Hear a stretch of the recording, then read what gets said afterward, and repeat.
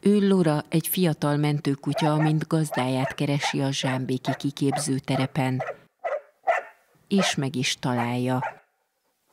Lora és 17 társa, köztük Simba a világhírű mentőkutya, a Pest megyei kutatómentőszolgálat kötelékében évente mintegy 150 alkalommal segítenek bajba jutott embereken, megsérült túrázókon vagy olyanokon, akik valamilyen betegség miatt eltévednek, eltűnnek.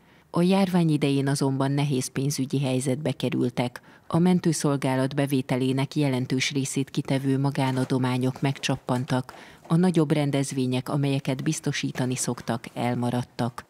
Arra búzdítunk mindenkit, hogy ebben az időszakban, amikor az adó 1%-ról lehet rendelkezni, akkor ne felejtsék el az emberek.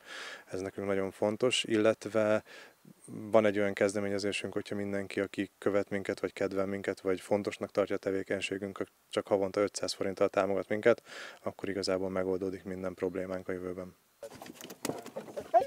Ő Polly a négy éves tetemkereső mentőkutya, a rendőrség munkáját szokta segíteni.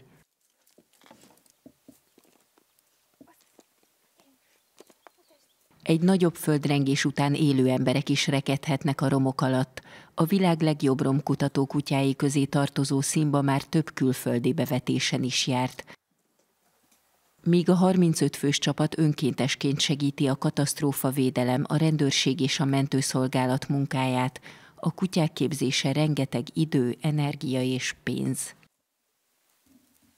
Mire ő mentőkutyává válik, az két év, és ez úgy épül fel a mindennapjainkban, hogy naponta 3-4 órát tréningezünk velük, illetve hétvégente, amikor a csapat összes tagja ott van, akkor ez van, hogy 6-7 órára is elnyúlik. A járvány idején csak a pénz csappant meg, a munkamennyiség nem. Rengetegen kerültek bajba kirándulás közben a tavaszi lazítások után, a mentések mellett pedig a koronavírus elleni védekezésbe is bevonták a szolgálatot. Járnak laktanyákat és óvodákat fertőtleníteni. Jelenleg arra koncentrálnak, hogy vészhelyzet esetén tudjanak menni, de fejleszteni, tervezni nem tudnak. A nehézségek ellenére a munka zajlik tovább. Ha riasztás van, a mentőszolgálat önkéntesei akár karácsonyi vacsora közben, vagy családi ünnepség mellől is felállnak, azért, hogy másokon segítsenek. Senuda Nóra, Euronews, Zsámbék.